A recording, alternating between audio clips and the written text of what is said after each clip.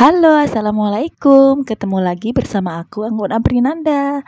Di video kali ini aku mau beberes kulkas ya teman-teman karena kulkas aku memang udah kotor dan ini batu esnya juga udah banyak.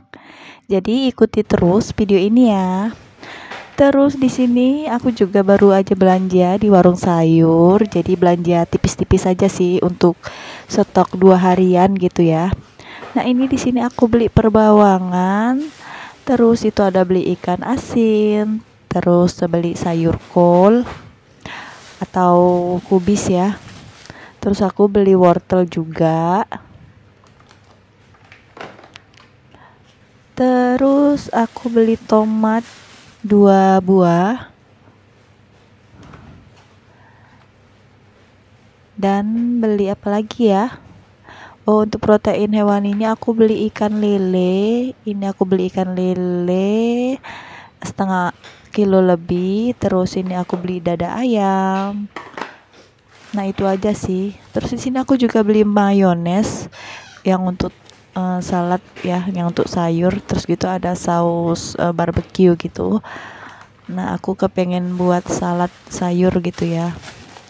Nah, ini aku juga beli timun beli timunnya dua aja sih.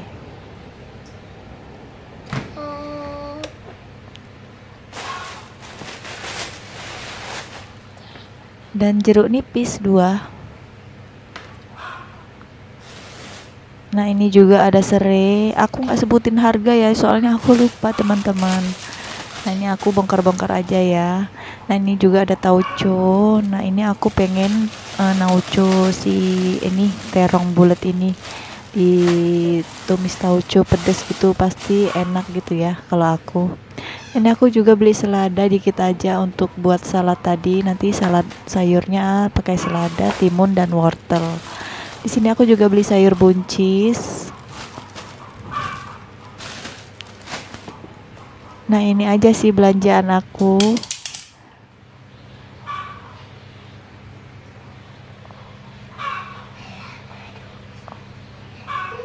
dan aku juga lupa ya totalnya berapa. Terus sekarang aku mau lanjut lagi untuk uh, bebersih kulkasnya. Ini uh, kulkasnya aku diemin ya supaya ini es batunya bisa mencair. Dan ini aku congkel ternyata udah bisa ya diambil batu esnya. Dan ini sekarang mau aku buang. Dan lanjut mau aku bersihkan. Oke teman-teman tonton terus video ini ya sampai akhir jangan di skip skip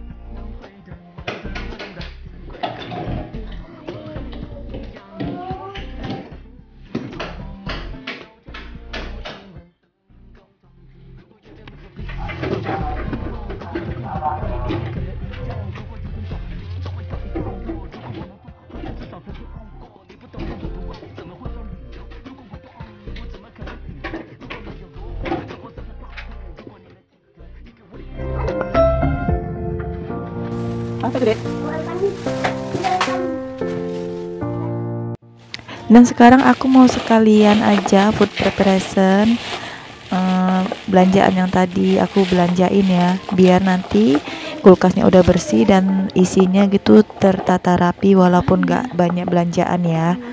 Yang penting udah bersih dan rapi isi kulkasnya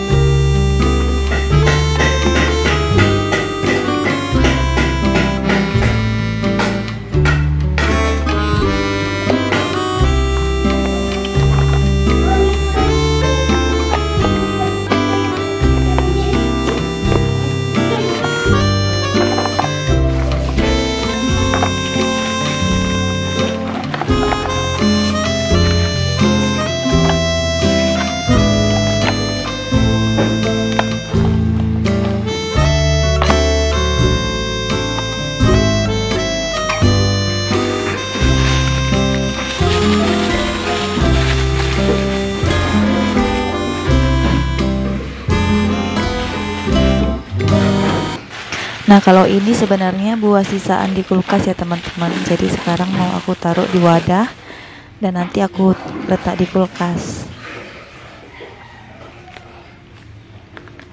Oke udah selesai food preparation Dan sekarang lanjut tata-tata di kulkasnya Nah ini untuk ikan dan ayam aku masukin di dalam freezer. Bunda-bunda pasti udah pada tahu lah ya kalau itu pasti masuk di freezer. Terus untuk sayur-sayurannya untuk bahan makanan yang lainnya Itu dimasukin di dalam chiller di bagian bawah ya. Ini kulkas aku karena satu pintu gitu ya jadi nggak hmm, besar nggak terlalu besar dan aku juga belanjanya nggak begitu banyak ya. Soalnya mau ganti itu sayang ini kenang-kenangan waktu aku baru merit gitu ya. Ini waktu aku masih kerja dan gaji aku aku belikan untuk kulkas ini dan ini masih bagus masih sangat-sangat bagus. Jadi sayang gitu ya kalau mau ditukar mau diganti yang baru. Oke. okay. Nah ini aku susun dulu semua bahan makanannya kalau udah di food preparation gini pasti kulkasnya udah kelihatan rapi ya teman-teman Oke, selesai. Sampai di sini dulu video aku. Semoga ini bisa menghibur ya. Jangan lupa like, subscribe, dan komen bagi yang belum. Assalamualaikum. Sampai ketemu di video aku selanjutnya.